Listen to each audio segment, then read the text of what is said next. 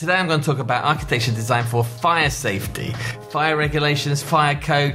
This is it, my last 10 years or so experience all combined into this video. When I was younger, when I was a student, always wanted to know about fire reg regulations and nobody taught us it. We even asked at university for a tutor to come and teach us about fire regulations. Nobody did and so this is it. Here it is for you. I'm going to go through it all. I'm going to go through the regulations I use, these different kind of regulations. I use this one, which I'll show you in a minute the, classes, the different classes of the buildings, which relates to the fire separation. Then I'll go through designing with horizontal escape, that's designing for escape distances on the same floor.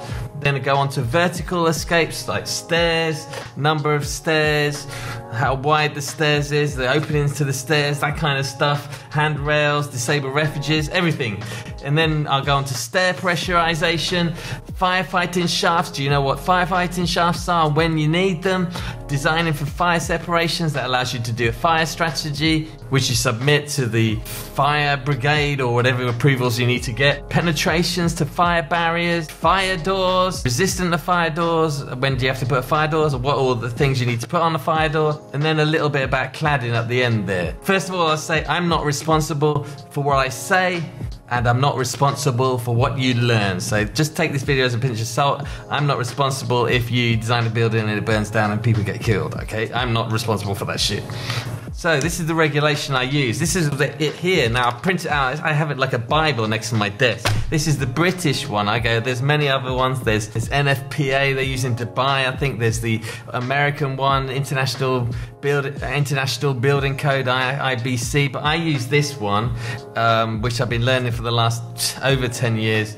And there's two. There's one for dwellings and there's one for non-dwellings. It used to be a bit screwed up. It had the dwellings one didn't have apartments. One is in the non-dwellings one, the apartments. It, only houses was in dwellings. But now it's all completely separated. There's, there's non-dwellings and uh, which has apartments and everything, and then there's there's dwellings that has apartments and houses, and then there's non-dwellings for more commercial buildings. I'm mostly talking about commercial buildings in this, not much housing, because there's not many regulations for just one or two story buildings, really. So this document here that I'm going to go through, you can download in the description. There's a shop you can buy it. I think it's ten dollars or something. It's like a 70-page document. It's got all the regulations, all these notes, this this presentation here. You can click on the links and it'll you can download download this document for free and clauses in, the quotes and the tables and everything. So I recommend you print this shit out and use it like a Bible. So this is a, the law in the UK. You have to abide by this. It's criminal offence if you don't abide by those. Now on to the classes of buildings. So this relates to when you do fire separation, which we'll talk about later. So the different types of classes of buildings. There's residential, which is like one, it's a purpose group they call it. Uh, two, which is like residential, 2A, 2B, different types of residential there. Office is purpose group three. Then you've got shop and commercial is four. Assembly and recreation. It's like museums and stuff like that. Industrial factories and stuff is purpose group six. I'll explain later when you do the fire separation why these are important. Designing for horizontal escape. This is on the same floor. This is one of the most important things for fire escapes. So, if you've got one fire escape, you've got to be no more than 18 meters from that escape. Anywhere on the floor in the building, so you can't be any more than 18 meters away from the escapes there. Even if you're standing in the corner of the building, you can't be more than 18 meters away. That's if you've got one fire escape. Now, if you've got two fire escapes, you can go up to 45 meters to that fire escape. But you've got to have a point of choice. So that means there's got to be one on that side and one on that side. But the angle needs to be more than 45 degrees as well. You can't just put two fire escapes right next to each other. So they have to be uh, 45 40, so 45 meters distance and 45 degrees or more. And you can see in this diagram here, you got 45 degrees there for two fire escapes, but there's one escape here. Obviously, it's no 45 degrees, so that'll be 18 meters to that escape's there, there, and that can be up to 45 meters that distance there. Now, this changes a little bit depending on what type of purpose group, what type of building it is. There's a table here, 2.1. It tells you what kind of distances, but generally, this is most commercial buildings. Most buildings are this, but if you've got apartments and stuff, it gets a bit screwed up, changes slightly, which I'll show you. So this is the commercial one I just told you. This is an office building there. So everything's 18 meters to one escape stair or two escape stairs. It's like 45 meters and 45 degrees. Then for flats and apartments, from the actual apartment door to the fire escape, it should be no more than 7.5 meters. So if, you got a front of an apartment here, it's no more than 7.5 to that escape stair. Same with here. The escape stair is here, so there's no more than 7.5 to the door. Now, if you've got two directions, you've got more than one fire escape in the apartment building, then you can put them on either side like that, and that can go up to 30 meters there. So these are apartment buildings. You can go up to 30 meters if you've got a point of choice there. And this one has one stair you can see there, and it's only 7.5 for one stair. So that's apartments and that's commercial buildings. Then on hotels, it's a little bit different. You can go up to 18 meters in one direction. That's from the door of the apartment, the door of the hotel room, because these hotel rooms and apartments, they're fire separated. They'll have a fire door on, which we'll talk about later. And then two directions, 35 meters. So this is a typical hotel, you know, you get long ones like that. So that'll be it'll be less than uh, no there's the escape stair there so it'd be more less than 35 meters in this direction you got point of choice but if you got one on the end there and there's a stair there you haven't got a point of choice so that'll be less than 18 meters there that's actually designed for an apartment. You can probably go a bit further than that i think. So here's some travel distances here and the table in this document right here. It's got the distances here. It tells you here, hotel there. So what I just described there, residential 18 and 35. That's a hotel, that one elsewhere. Now you've got to make sure the width of the door to the escape stair is wide enough because everyone's going to rush and escape through that stairs. So to, to calculate this, you've got to figure out how many people on that floor. Then you've got to determine how wide the stairs, how wide the door is to the stair. So to do that, you do that, it's all in this document, everything's in this document. So to do that, you just go to the table, it tells you how many people per square meters, how many square meters per person on that floor. So you go to the table here, an office for instance, for every six square meters, there'll be one person. So if you've got an office space, 600 square meters, that means there's 100 people on that floor.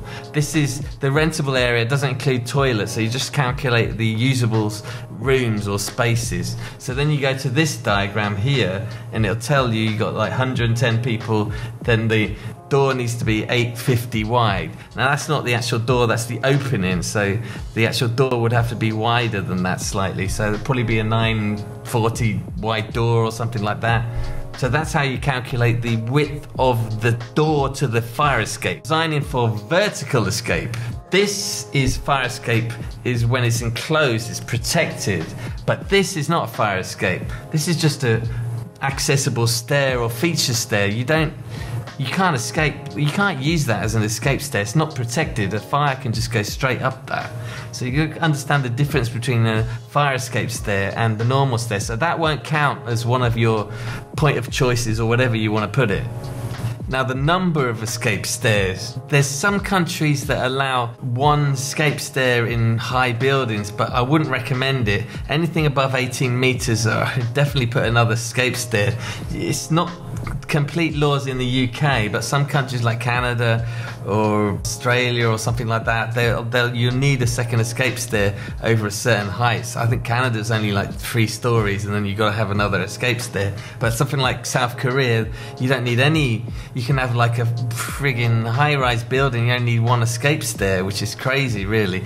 This happened in Grenfell Tower. This is the Grenfell fl Tower flat, and it had a one escape stair. So they're trying to change that rule now. So anything so okay actually at the moment in building regs to have one escape stair, as long as you got the 18 meter thing going on. But I wouldn't really recommend that. It's always been a bit of a debate. This so this is just to show that the National Fire Chief Council writing to the government telling them we recommend two staircases in all buildings above 18 meters. So bear that in mind. Now on to the width of the stair. So you, we got the width of the door. Now you got to calculate the width of the stair because there'll be a lot of people going down through these stairs. So you got to make sure if you're a cinema or something, the stairs have to be sometimes pretty wide because there's a lot of people. This is another calculation. Similar thing. It's got a table, but this time you don't calculate just how many people on the floor. You got to calculate how many people on every single floor using the stair. So that you use the same table as we used before to how many. Like it was was it? it is one person for every six square meters for an office, for instance. For other buildings, to be slightly different according to that table. Then you calculate all the people on the floor using the stairs, and then you go to this table here, and it will tell you the width of the stairs. So this one here, 200 people on each floor, for instance, five story building, that's 800 people. But you usually divide it by two because you've got two escape stairs.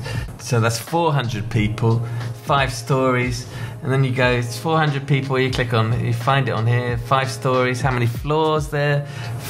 400 people is around the, about over five stories is about 1,200 stairs, so 500 people over five stories is 1,400 wide stair. This gets complicated now, and I only just found this out recently. There's something called phased evacuation, where you can make the stairs much narrower. This is for high rise buildings over 30 meters or something like that. Yeah, 30 meters. So if you've got a building over 30 meters, the fire alarm is not likely to go off and then everyone is going to rush out of building. It'll be c- controlled. It'll be like called phased evacuation. So what will happen is the alarm will go off and then like someone in the management office or security, they'll see beep, beep, beep, that floor has a fire alarm. And then they'll call somebody and they'll arrange going to investigate. The alarm won't go off for the building. They'll, they'll go to investigate and then they'll see if there's a fire and then they'll evacuate in phases, so they'll evacuate no more than two floors in one go. So this allows you to make the staircases a lot narrower. Obviously, if you've got a skyscraper, you're not going to have huge wide stairs because it'll take up loads of room uh, like got thousands of people using that stairs so that's why it's called phased evacuation you can make it narrower and this one you calculate the amount of people in, on the floor and then it'll tell you how many how wide the stairs are. So you just use that diagram there. So basically if you got a this big commercial building over 30 meters you can use this but you gotta make sure it's managed but you probably won't get that in an apartment though because not necessarily might be managed. You'll have depends on what the management system is like. Now onto disabled refuges. This is important. A lot of people miss this out. In a escape stair or a protected area, so it could be a lobby or something like that. You've got to have a disabled refuge, which is a safe area for people with disabilities can go to and call for help and wait there until the fire brigade come or something because they might be on their own. No one's going to help them. And it's got to have a call point like this there that allows them to call for help. Now there's certain sizes for this. The size is 900 by 1400 millimeters. You've got to fit that and it can't block the route of escape. So you've got to keep it away from the flow of traffic for the stair. So that's disabled refuge and you've got to put signage on there as well to allocate that space now handrails, a bit on handrails, I won't go on too much, but handrails for stairs are between 900 and 1 meter high, measured vertically, not horizontally, so from the angle of the stairs straight up from 900 to 1 meter. And if you've got a stair more than 1 meter wide, you've got to have two handrails, one on each side. Even at work, they put one handrail, and I go to sites, they put the other handrail on. They don't bother. It only be residential would be 1 meter wide, usually. So you always need two handrails for commercial buildings. And then there's the thing about children, but you to children climb up these things, so you're not supposed to have a railing balustrade with a gap more than 100 millimeters, so a 100 millimeter ball can't pass through the stair. But for escape stairs, you don't really need to do that. Like Children will climb up this as well, but it depends on the builder. They're not going to really use fire escapes. Children are not likely to go in there. So uh, generally, fire escapes are okay. You can do railings like this. It's not so bad. But if it's a mall or something, they might use the fire escape. So maybe you want to put, protect for children and, and not have horizontal and not have gaps more than 100 mil. It depends if the building's going to be likely to be used by children. Now the final escape stair needs to swing out and that's a ground floor, not on the roof. You don't escape on the roof. Some people think you can escape on the roof and get for help. Um, you know, that happened at 9 11. I know there's a fire, they probably couldn't get to the roof, but a lot of people went to the roof to escape and they got killed. Sometimes the door is locked on the roof anyway, so I don't know why you would escape to the roof anyway. You probably won't get up there. Also, the final escape stair needs to go all the way out to a safe area. It doesn't escape for a lobby or something like that or a reception. You can escape for a, reception, but it has to be less than 10 meters square which is very small, so I never really escape. It goes straight out of the building and it should be up, out into open air all the way. You have to put a protected corridor all the way. You can't just open some escape somewhere on ground floor in the middle of the building somewhere. has look. See here, it goes all the way out, all the way out here to the to the outside of the building. Now this is the thing that happened in the Philippines. The door didn't swing out on the final escape stair, and um, quite a few people got killed. Sadly, people got killed, 162 people, because the final escape stairs swung inwards and people got stuck and trapped. Ozone Disco in Philippines, 1996. Now, the use of the space in the fire escape, you can actually put toilets coming off the fire escape if you want, because they're not a hazard. It's not likely to catch fire there. So if you want, you can put toilets in a escape stair like this. That's part. Well, that's part of the escape distance out. But I put a toilet there, so you're allowed to do that. You can also have a reception, like I said, but that's 10 meters square, but it's tiny. You wouldn't really do that. And if you start doing that, you probably have to put fire protected materials inside. I wouldn't even go there, really. There's external escape stairs as well. Usually, you need to have at least one internal escape stair if you have an external escape stair open. And there's areas around the escape stair that needs to be protected as well. So you're not allowed any, any windows around certain distances, like here in this in this document again, all in the document. And then it's got to be protected from adverse weather conditions. There's some examples, some examples there of protecting the weather slightly. And these are not for public use, these external stairs. They're only used in an event of a fire. Now, basement stairs, not a lot of people know this, but you're not supposed to have a upper stair from above connecting into the basement. It's got to be a completely separated stair. Do connect them and you've got to separate them. You can connect them, but then put a wall in between, like here and here, that'll separate it completely. You see here, that's one escape stair going straight out from the basement, and that's straight out from above there. So don't connect the basement stair to the upper story stairs. Upper story goes down and then out from ground floor, and the basement will come down and out from the basement. Stair pressurization. This stops the smoke from entering the stair, and if it does get in there, then it should ventilate it out because of the pressure. There's usually a fan at the top that pulls the air out, the smoke out. Usually on buildings over 18 meters. If you don't have one in there, sometimes you put a lobby on the stairs instead. So you got to make sure you add some space next to the stair. Usually on the landing side, a bit of space there for pressurization that that allows the air to go up, and there's a fan at the top. This is what it kind of looks like you got a fan at the top here, so there'll be some space on the roof as well. You've got allocate. So that's the plan. There's the pressurization, there's the pressurization, and then on the roof, that's the fan out. That's another fan out there. So that's pressurization. Firefighting shaft. Do you know what firefighting shaft is? Any building over 18 meters, you need this. It's like a fire escape stairs with a lobby and then a fireman's lift in it as well. So you see this diagram here, it's got, it's all in this, this is all in this document still. Everything's in these documents. See there, over 18 meters, you need one of these. If you've got a basement more than 10 meters, you need one of these as well. And then if the area of the floor is over 900 meters as well, then you'll need two of them. So that's why a lot of the buildings I do, they're usually under 18 meters and then they're usually under 900 square meters as well. I did 20 story building and I kept under 900 meters the area, so I wouldn't need to add one of these in, another one. Designing for fire separation. This is example of a fire strategy drawing. It's got a different colors here for different minutes. That you get a two hours or 60 minute fire protect fire separation in the walls. So the fire separation comes from the different purpose groups that I talked about before.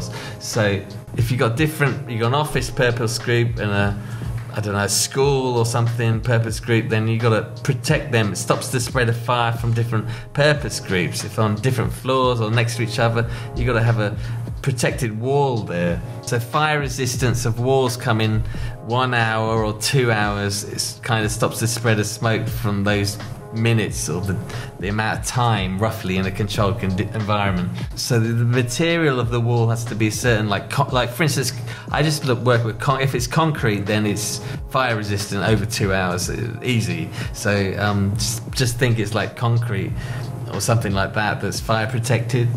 So I was saying that walls separating different user groups. Also, different organizations need to be separated. So, if you've got an office or but an office, but they're different companies, then you've got to fire separate that as well. So, different uses, different purposes, different organizations. Flats, apartments as well. If it's got a flat there, flat there, they've got to have fire separation. Apartments have fire doors as well, which we'll talk about later. Fire escape stairs need to be protected. It tells you on, in this document what kind of areas need to be protected and the how many rating like one hour two hour. Also special hazard areas like a room full of oil or something that'll need like say two hours protection around it. So you have to be in a concrete wall area or something like that. You can't just put plasterboard around it or something. So it's got these areas marked in this document right here. So these are the areas it tells you if it's like 60 minutes, one hour, fire protected. Then it then you can work out the doors as well, which we'll talk about later. So it says here like, protected stairways, like half an hour. That doesn't look right, but firefighting shafts, two hours there, and then it's got offices. Yeah, it gets pretty complicated this. Uh, and then this is just a picture of that's not a fire escape stair like i said before it's open it's not enclosed this is where i live as well um, so that should be enclosed. That's wrong. That so the, if the fire gets in this, it'll just go straight up. But that's not having a compartmentation around the fire escapes there, which previously it tells you you need fire protection around the stairs. Penetrations in these walls as well. If you put in pipes and stuff in these walls, they've got to be protected. They've got to have. They're called dampers. The intumescent strip around the seal of the penetration. So that's a firewall protected area. There might be an office on one side, might be a shop on the other. So you've got to protect that so it doesn't, the fire doesn't go through. Now onto fire doors. Now you can determine the type of fire doors by the separation, the fire rating of the wall. So in a compartment wall, for instance, blah blah blah. It tells you here minimum fire integrity of the door, resistance of the door. So that's the door is measured in minutes as well. You get one hour fire door, half an hour fire door, two hour fire door. It's usually something like half the distance, half the rating of the wall to the door usually. It tells you all in this diagrams here how to do it, which are in this document.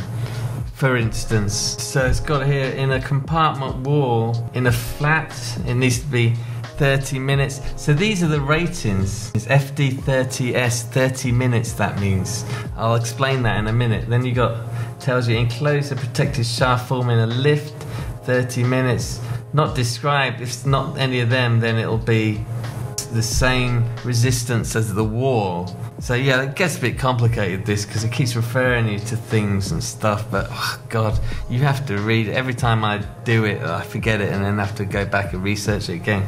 It gets pretty complicated. So the fire rating of the doors in the UK is called FD30, which means fire door 30 minutes. FD60 fire door 60 minutes. Then you add an S on it if it needs smoke seals, if it's smoke protected. So which is usually intumescent strip around the door. So FD 60S means it's 60 minutes smoke rated. FD 30 is means it's just 30 minutes fire protected. So you've got to make sure when you have a fire door as well, it has all these things on it. Uh, you've got to have the sign having the rating written on the actual leaf of the door, not the frame. So it needs to have a sticker like this. It needs to be a fire door keep shut sign, needs to have the uh, usual ironmongery, intumescent strip. If it's smoke rated, then you've got to have door closers are very important. All fire doors need a door closer, unless it's just an electrical room or something like that. Yeah, so they're all the things you need for a fire door. And you have to tell the manufacturers to put this stuff on. They don't put the sign on. They don't give you like the this label especially. You have to ask them to put it on. And you can hide it on the inside of the door there.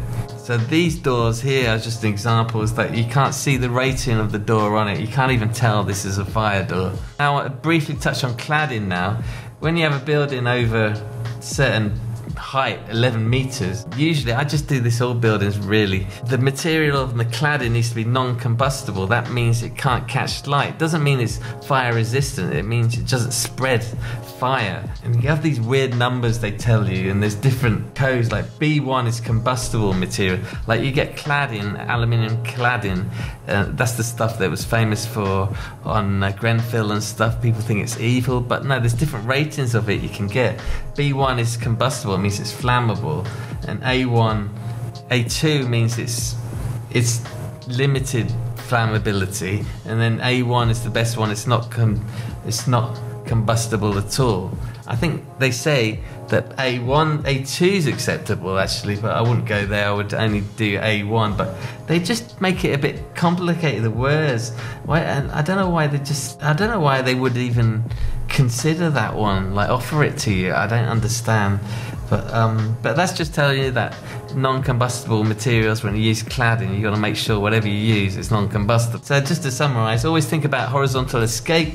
Ensure fire escapes are designed correctly with the right sizes. Always think about horizontal escape. Ensure fire escapes are designed to the right sizes. Be aware of different purpose groups for different types of buildings, classes, office, commercial, residential, those kind of things. Know it's difficult to remember everything. I don't remember all this stuff. I forget it all the time. That's why you should have a document. Whatever regs you use, it could be this one, could be another one, then you should have it. Choose a document and use it as a Bible. That's what I do. You have responsible as an architect. Now, if you want this PDF, you can go click the link in the description and download it. Uh, I think it's like $10 or less or something like that. It's got all the links and it's got all the information you can quotes and snips from the regs you can go to and reference. The thing is, it's really handy because if someone asks you a question, you can answer it by using that clip from the document and it'll go tell you exactly where to go to. So I hope this helps and I'll see you in the next video.